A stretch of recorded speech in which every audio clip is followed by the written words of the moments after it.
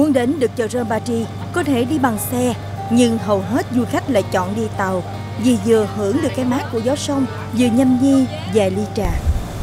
Chợ Rơm nằm dọc sông Ba Lai và điểm tập kết rơm lâu năm nhất dùng chính là đây, nằm ngay chân đập Ba Lai.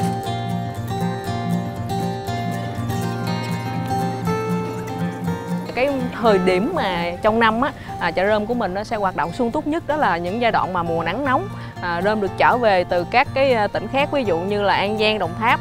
À, và ở Paris mình thì à, có một cái à, số lượng đàn bò à, lớn nhất của Bến Tre chúng ta. Trong năm thì cái chợ rơm mình được hoạt động coi như là để mà cung cấp được cái nguồn nguyên liệu thức ăn cho bò. So với các chợ độc lạ khác trong vùng, chợ Rơm Ba Tri chỉ mới ra đời khoảng 8 năm. Tuy nhiên, đây lại là khu chợ mua bán mau lẹ nhất, đúng với tinh thần của người miền Tây. Người bán lấy chữ tính, còn người mua lấy chữ tin.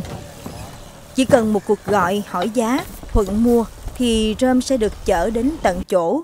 Đến chợ chủ yếu gặp được những công nhân giác rơm như thế này. nó nhiều tàu lắm mà về một ngày có cả chục chiếc có. Thì hết chiếc này thì đi ghe khác về. Như tàu này hết rồi đi tàu khác về.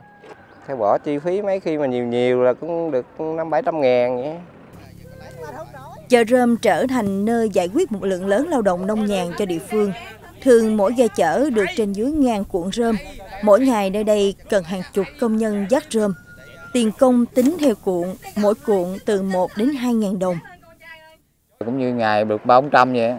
bình thường ở nhà cũng như có ruộng đồ với ờ, bò đồ ở nhà thì đi mằng này phụ thêm ở đây các bạn nào biết tập gym không nè? Chưa hả?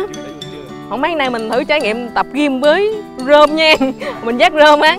Đây thanh niên trai tráng không à một bạn chắc dắt được một một hai cuộn luôn nha. Rồi giờ giờ mình à, thử trải nghiệm nha. Xin mời các bạn. Dạ cái À, nói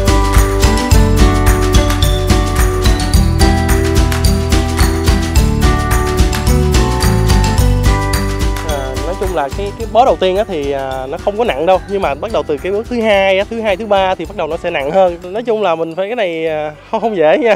Dạ. Nó à, đòi hỏi là mình phải cẩn thận. À, mình đi di chuyển trên ghe nó cũng rất là khó khăn. Đến thăm chợ rơm mùa mưa, hoạt động giao thương có phần trầm lắng. Một phần nguyên nhân nữa là do lượng bò tại Ba Tri gần đây bắt đầu sụt giảm. Tuy nhiên, với những ai đã từng gắn bó với ngôi chợ này, vẫn tin chợ là nhộn nhịp khi tương lai không xa. Rơm sẽ được ứng dụng nhiều hơn, chứ không chỉ là thức ăn cho gia súc hay vật liệu dùng để chất nấm rơm.